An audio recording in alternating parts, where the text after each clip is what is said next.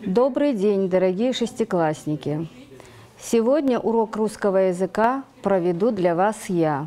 Меня зовут Хабикирова Мадина Мухамедовна. Я преподаю русский язык и литературу в гимназии номер 16.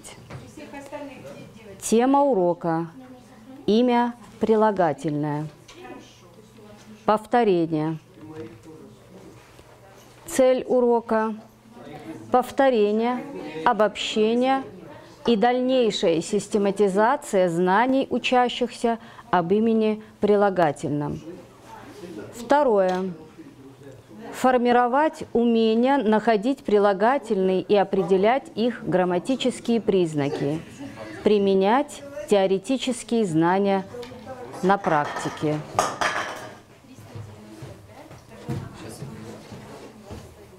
Итак, ребята, давайте вспомним, что же такое имя прилагательное. Имя прилагательное – это самостоятельная часть речи, которая обозначает признак предмета, его качество и отвечает на вопрос «какой?», «чей?». Какой? Большой, красный, зеленый, медный, золотой. Чей? Папин, мамин и так далее. Начнем с постоянных признаков прилагательных. Разряд по значению – качественные, относительные и притяжательные. Качественные имеют степень сравнения, полную и краткую форму. Непостоянные признаки прилагательного. К ним относятся полная и краткая формы, степень сравнения у качественных прилагательных, род, число и падеж. Итак, ребята, что мы должны знать? Обратите, пожалуйста, ваше внимание на экран. Морфологические признаки имени прилагательного. Постоянные признаки. Разряд по значению. Качественные, относительные, притяжательные. Качественные, в свою очередь, имеют степень сравнения, краткую и полную формы. Непостоянные признаки – это у нас род, число и падеж. Лексика – грамматические разряды имен, существи... Э, имен прилагательных. По лексическому значению и грамматическим признакам имена прилагательные делятся на разряды – качественные, относительные и притяжательные.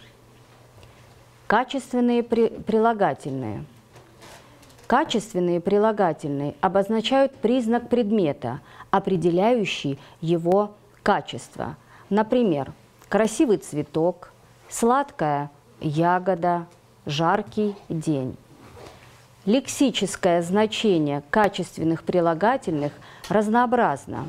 Они могут обозначать цвет, физические свойства, вкус, запах, размер и так далее. Качественные прилагательные могут употребляться с уменьшительно-ласкательными суффиксами «оньк», «еньк». Например, «зеленый», «зелененький» и с наречиями меры и степени. Весьма, очень, гораздо, совершенно. Например, очень холодный, весьма приятный. Эти качества чаще всего проявляются в большей или в меньшей степени именно в качественных прилагательных. Они имеют, еще раз повторяю, краткую форму, например, узок, молот. Образуют степени сравнения, например, уже, самый узкий, моложе, наиболее молодой, красивее, красивейший, обратите внимание на ударение. Могут сочетаться с наречиями, обозначающими качество. Очень, слишком. Образуют сложные прилагательные путем повтора, например, старый, престарый. Могут образовывать прилагательные а, с приставкой «не», например, некрасивый. К ним можно подобрать синонимы. А что такое синонимы, ребята? Давайте вспомним. Синонимы – это близкие по значению слова. Например, мудрый, умный.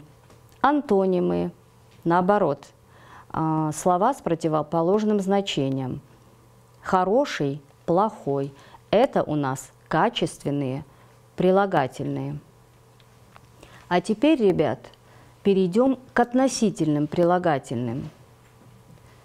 Относительные имена прилагательные называют признак по отношению к материалу, месту, действию, отвлеченному понятию. Например, железная дверь, золотое кольцо, морской воздух, городская площадь.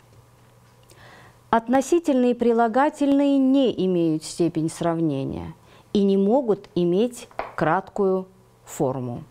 Заметим, что в словосочетании «домашние животные» прилагательное «домашние», ребята, обозначает не название, а место. То есть всегда нужно определять значение слова, исходя из данного контекста.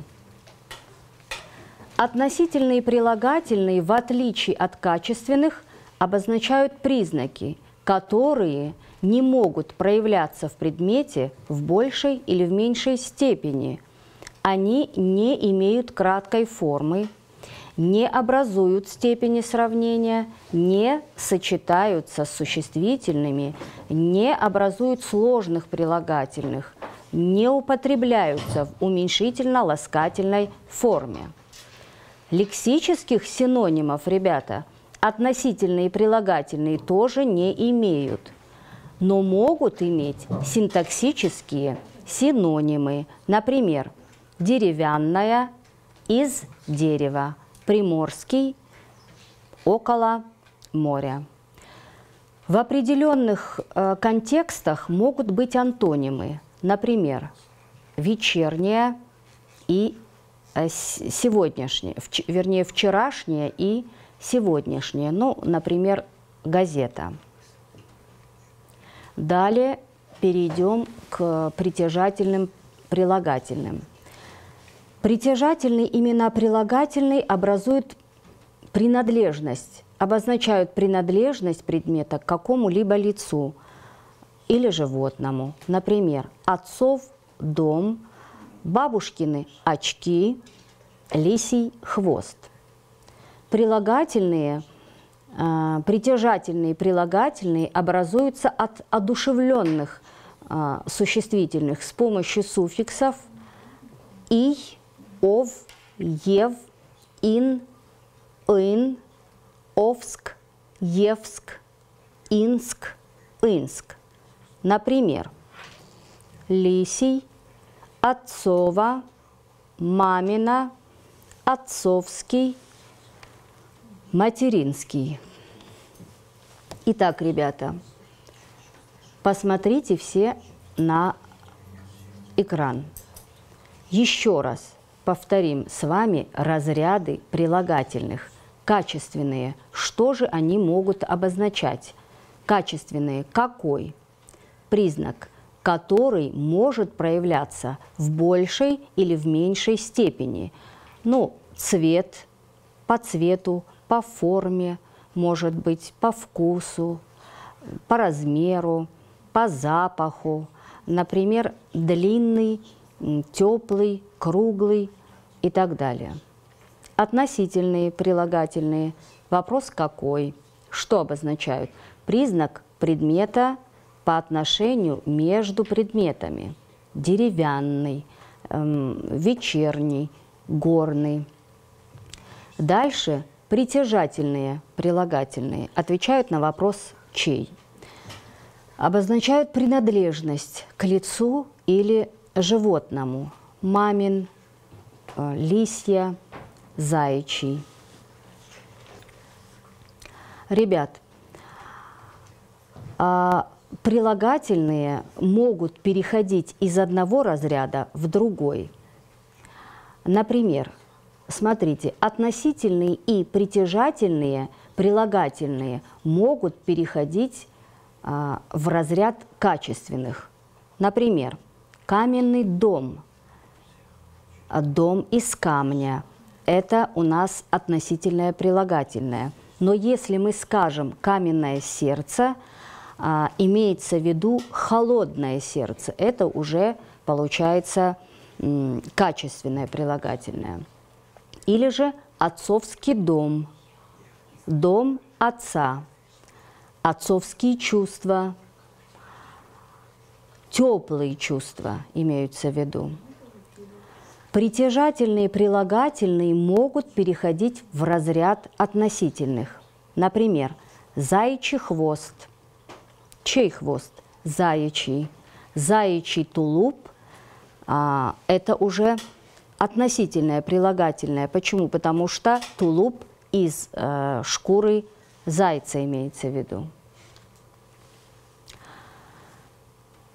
Еще с вами разберем несколько примеров перехода э, от одного разряда в другой.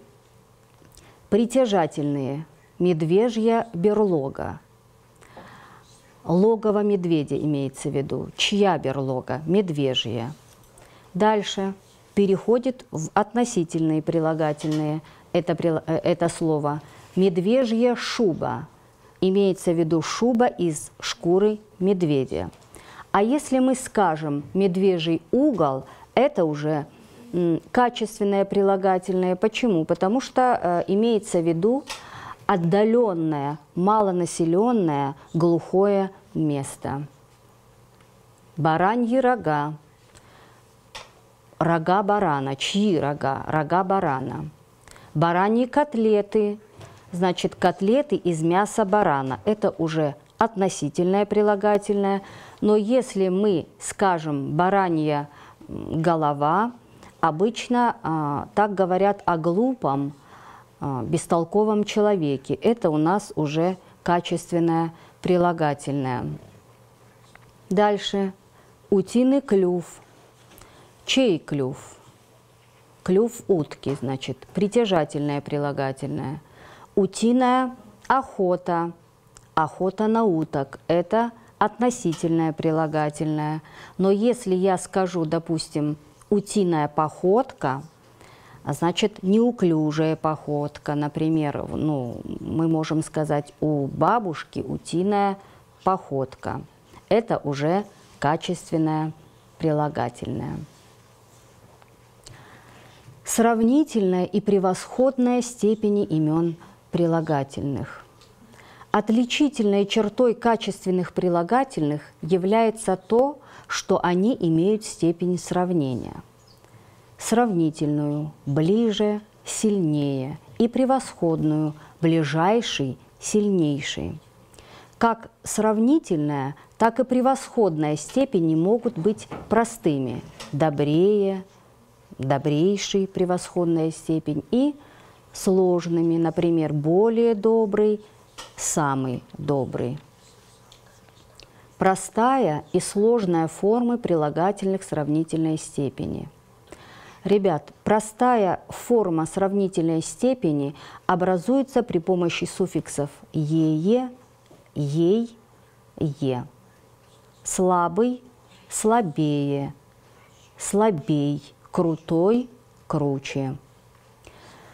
Сложная форма сравнительной степени сочетает слова более или менее и начальную форму прилагательного. Например, добрый – более добрый, менее добрый, честный, более честный, менее честный. Простая и сложная форма прилагательных превосходной степени. Простая форма превосходной степени образуется при помощи суффиксов «айш», «ейш». Например, «добрейший», величайший. Сложная форма превосходной степени, ребят, может быть образована присоединением. Первое слово «самый» к прилагательному в начальной форме. Самый высокий, самый добрый. Второе. Слов наиболее или наименее к прилагательному в начальной форме. Например, надежный, наименее надежный, наиболее надежный. И третье. Слов всего или всех к прилагательному втор... простой, в простой форме сравнительной степени. Например, милее, всех милее, твердый, всего тверже. А теперь, ребята, обратите, пожалуйста, внимание на таблицу. Простая и составная форма сравнительной степени прилагательных. Нельзя путать разные формы сравнительной степени. Простая форма – выше, красивее. Нельзя совмещать две формы.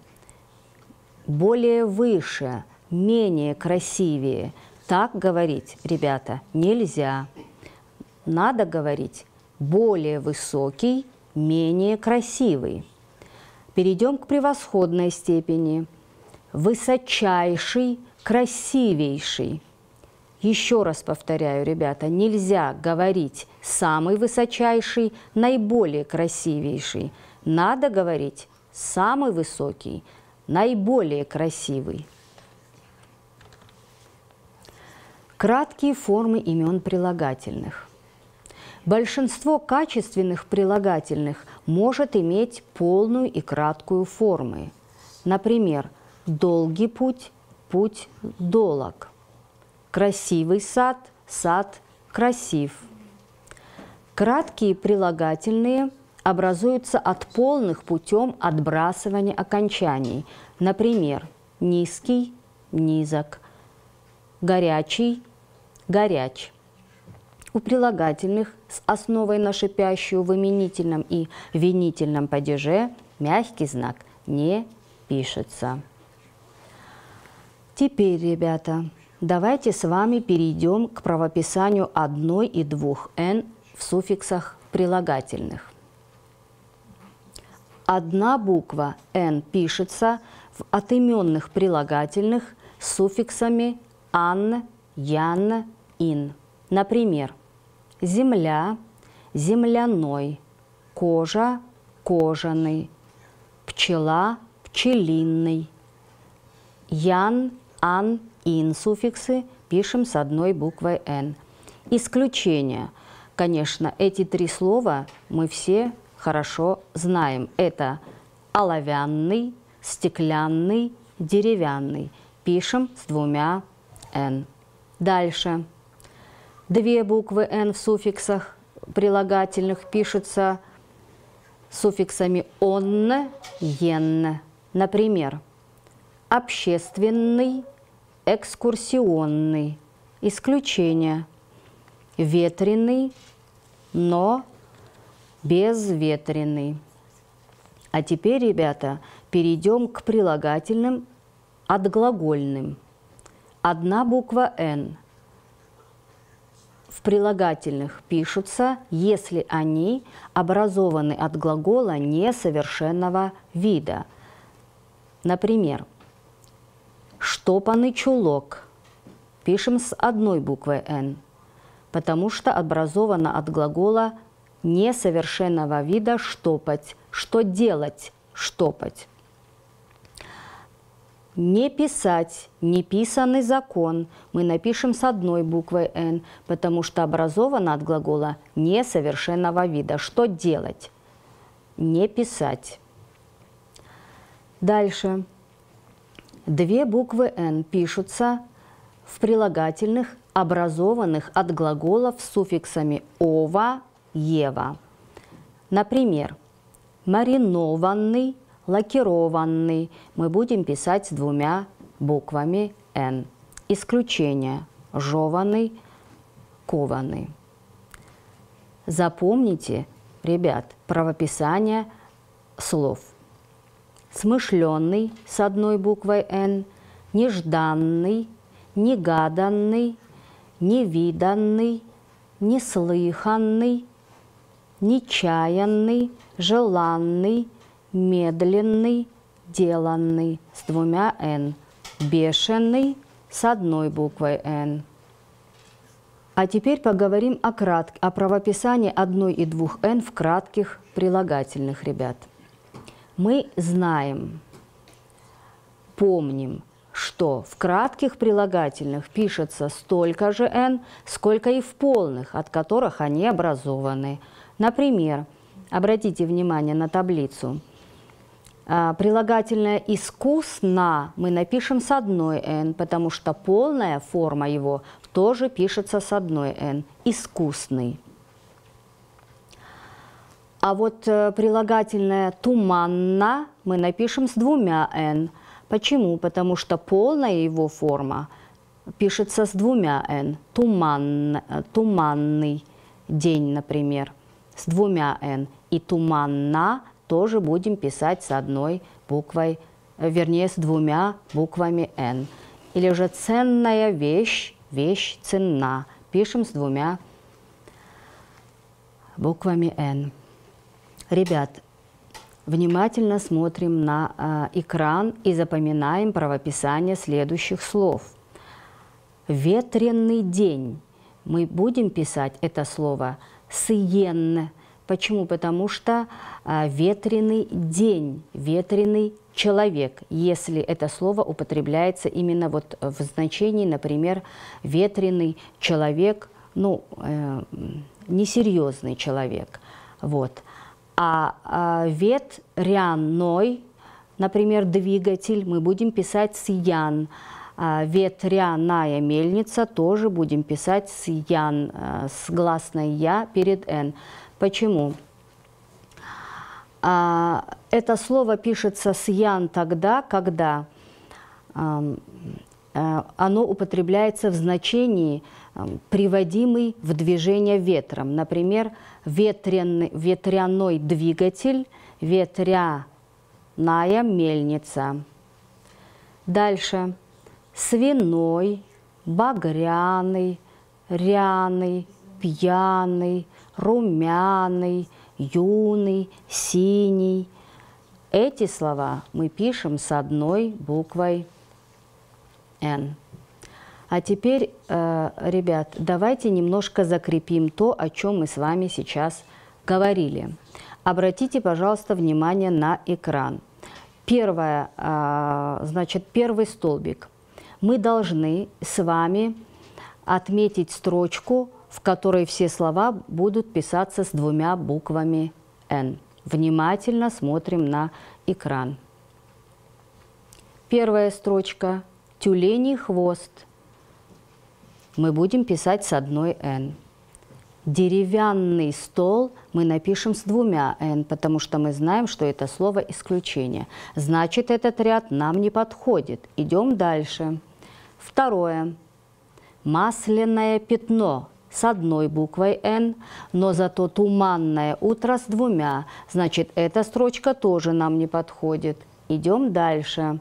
Окна стеклянные с двумя «Н», Стеклян, э, старинный сундук тоже с двумя «н», значит, эта строчка нам подходит. Четвертое. Деревянные дома с двумя «н», масляная каша с одной «н» не подходит. Дальше. С одной «н». Соломенная кровать. А, гостиный двор. Второе безветренный день с двумя «н», ветреный человек с одной «н» не подходит. Нам, ребята, подходит свиной шашлык с одной «н», юный друг. И кожаный ремень с одной «н», бараний мех тоже с одной «н». Дальше переходим к правописанию «о» и «е» после шипящих в суффиксах прилагательных. Но мы знаем, что под ударением в суффиксах прилагательных после шипящих будет писаться буква «о». кумачевый, ежовый, перчевый. И наоборот, без ударения пишется буква Е. Например, а, плечевой, вещевой, кварцевый. Дальше в окончаниях под ударением после шипящих пишется буква О. Большого, меньшого брата и буква Е, например, свежего утра, ключевого, э, вернее, колючего ежа и общего пляжа. Правописание не с прилагательными. Ребят, вспоминаем, слитно пишется тогда, когда слово не употребляется без «не». Например, неряшливый. Еще, если можно подобрать синоним без «не». Например, неправдивый слитно пишется, потому что лживый. Подбираем синоним. Раздельно, если есть противопоставление с союзом «а», а неправдивый, а лживый. Или же, если они относятся к, к словам далеко не, вовсе не, ничуть не, отнюдь не. Прилагательные пишутся слитно, сложные прилагательные пишутся слитно тогда, когда если слово образовано от словосочетания долго, долгожданный, например, долго ждать, сельскохозяйственный, сельское хозяйство. И если первая часть прилагательного на ОЕ, например, выше, сказанный, свеже, мороженый. Через дефис пишется сложное прилагательное, если оно обозначает цвет – оттенки цвета. Ярко-синий, а, светло-голубой. Если э, повтор, идет повтор однокоренных слов, умный, преумный. Если образовано от сложного существительного, которое тоже, будет, э, которое тоже пишется через дефис. Юго-запад, юго-западный и если оно образовано от разно, равнозначных слов. Морковно-ягодный. Ребят, давайте запишите домашние задания. Перед вами текст, который вы должны дополнить именами прилагательными. На этом я с вами прощаюсь. До свидания и будьте здоровы!